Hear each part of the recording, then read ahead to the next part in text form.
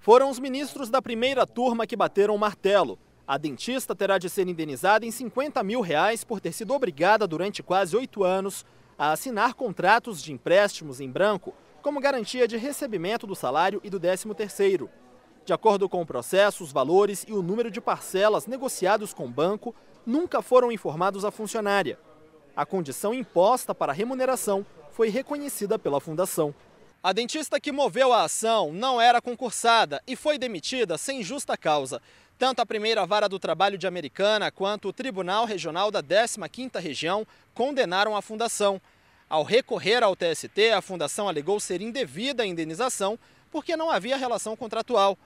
Também afirmou não ter sido comprovado dano moral, uma vez que todos os empréstimos foram quitados sem que houvesse prejuízo para a dentista. O ministro relator Valmir Oliveira da Costa entendeu que não houve violação à Constituição Federal nem à súmula 363 do TST. Por isso, a declaração de nulidade da contratação não eximiu a fundação da culpa.